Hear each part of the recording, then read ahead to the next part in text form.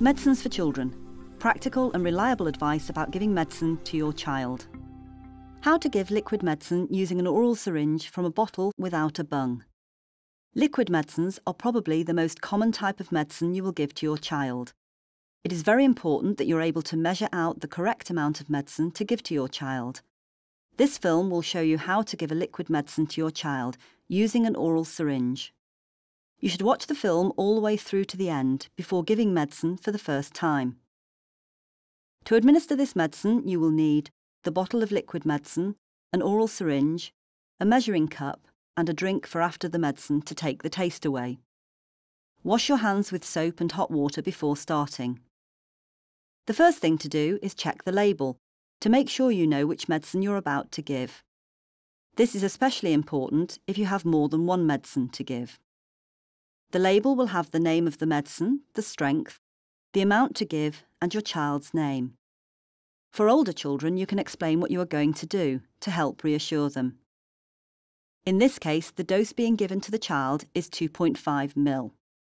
Getting the right dose into the syringe can be a tricky business. Some bottles come with special bungs which fit into the top of the medicine bottle. Firstly, you need to shake the bottle well, making sure the cap is firmly on. Place the bottle the right way up on a flat surface and remove the cap. You need to ensure that the syringe is clear of any liquid before administration. This happens automatically when using a medicine bottle with a bung fitted.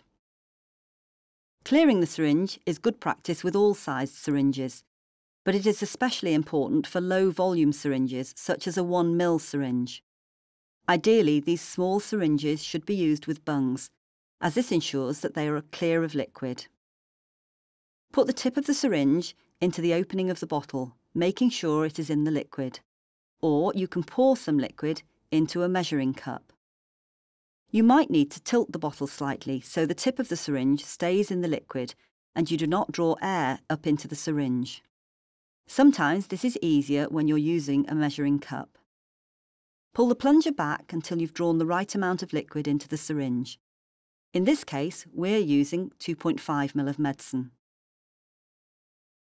You need to check again that you have the correct amount of medicine. If it is too much, you can squirt some back into the bottle. Once you are sure you have the correct amount of the medicine, you can give it to your child. For babies and young children, it is often easier to have them sitting on your lap so that you can support them while you're giving the medicine. Older children should be sitting or standing up. Place the tip of the syringe in your child's mouth and gently squirt the medicine in. For babies, it is often best to squirt the medicine down the side of the mouth next to the cheek so that they don't choke. If you need to give a large amount of medicine, then it's best to give it slowly in small amounts. Older children may prefer to give the medicine themselves. You may want to have a drink ready to take the taste of the medicine away. Some medicines can be mixed with a small amount of juice or milk. Your pharmacist can give you advice about this. Once you have given the dose, wash the syringe straight away using fresh soapy water. Draw the plunger in and out in the soapy water several times. Then rinse the syringe in clean water in the same way. Another common way of giving medicines is to use a measuring spoon. These are usually used to measure 5 ml amounts. Measuring spoons should only be used to measure 5 ml and not for other amounts. An oral syringe gives more accurate measurements to help make sure you give the right amount of medicine to your child. The medicine can be poured onto the spoon straight from the bottle and can then be given to your child. If you have any questions about this or are not sure about anything, then ask your doctor, pharmacist, or nurse for advice. Medicines for Children is a partnership project of the national children's charity WellChild, the Royal College of Paediatrics and Child Health, and the Neonatal and Paediatric Pharmacists Group.